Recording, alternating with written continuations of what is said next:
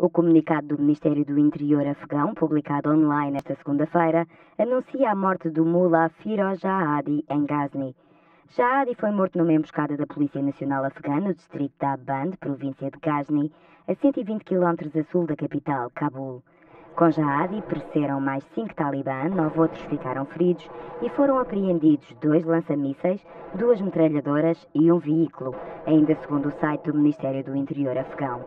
Mullah Jahadi era tido como um proeminente comandante talibã que liderava o combate de Kunduz, uma das províncias do norte do Afeganistão mais vulneráveis aos ataques talibã.